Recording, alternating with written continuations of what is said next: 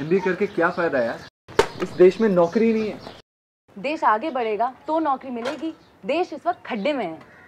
Unemployment के लिए इस देश की सरकार क्या कर रही है? ठेंगा। सर चाय वाला ही उपाय वाला है। चाय वाला? सारा बंदा आएगा। हम्म।